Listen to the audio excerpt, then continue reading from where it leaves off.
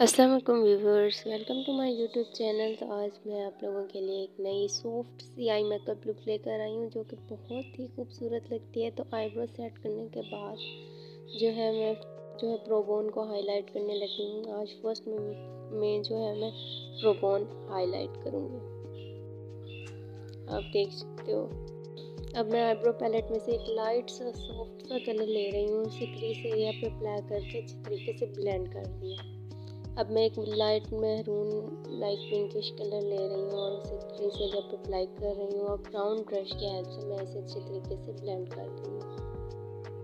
अब मैं fan brush की हेल्प से गिरे हुए मटेरियल को डस्ट आउट कर हूँ अब मैं क्रीज कट करने लगी हूँ, हल्की सी जो मैंने कंसीलर लिया है उसके ज़रिए से। आइस की क्रीज कट करने लगी हूँ। आइस की क्रीज कट करने के बाद अब मैं एक ब्लैक आई शेडो पेन ले रही हूँ। कॉर्नर बनाने के लिए आप देख सकते हैं। तो ब्लैक कलर से जो मैंने कॉर्नर बनाया है फिर इसको अच्छी तरीके से ब्लेंड कर रही हूँ, ब्राउन ब्रश की हेल्प से। ब्लैक कलर को अप्लाई करने के बाद अब मैं एक ऑरेंज कलर की मेटेलिक आई शेडो ले रही हूँ, जो कि मैं आई बॉल पर अप्लाई करने लगी हूँ। आप देख सकते हो। इसको आई बॉल पे अप्लाई करने के बाद अब मैं आइस के फ्रंट पे जो है वो शिमर आई शेडो ले रही हूँ वाइट इसको अप्लाई कर रही हूँ, क्योंकि हमने आई मेकअप की लुक जो है वो काफ़ी सॉफ्ट रखनी है ज़्यादा। हार्ड आई मेकअप नहीं बनाना हमने।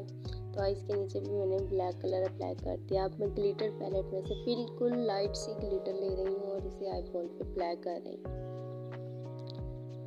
इसके बाद मैं लाइनर अप्लाई करूँगी। लाइनर अप्लाई करने अच्छी तरीके से लाइनर अप्लाई करने के बाद मैं आई अप्लाई करूँगी।